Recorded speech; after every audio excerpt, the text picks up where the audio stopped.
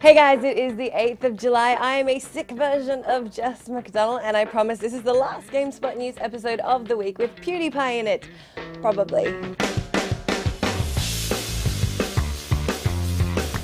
Since we spent yesterday talking about the famous YouTube Let's Players' earnings, it seemed only fair to spend some time today shedding light on PewDiePie's follow up video where he says money doesn't make you happy.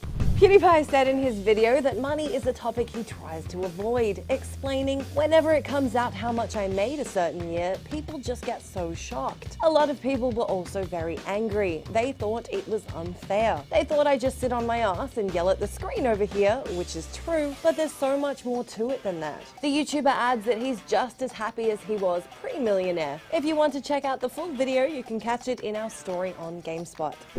343 Industries has made suggestions today as to what resolution we might be playing Halo 5 at.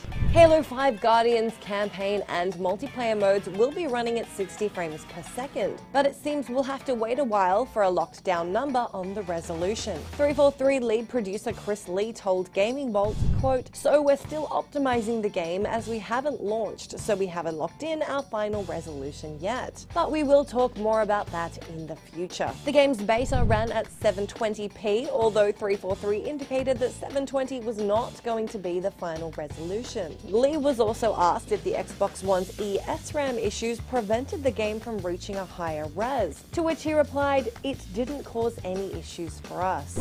In things that are dividing gamers, a hacker linked to the Lizard Squad group that brought down Xbox Live and PSN last Christmas has skirted a prison sentence.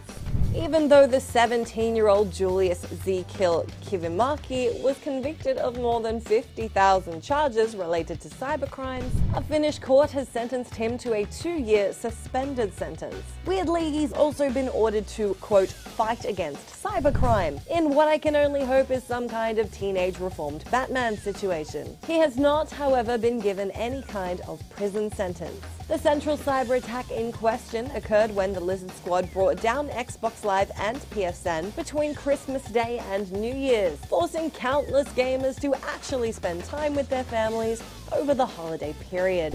Let me know down in the comments if you reckon the hacker should have received a harsher sentence or not and why.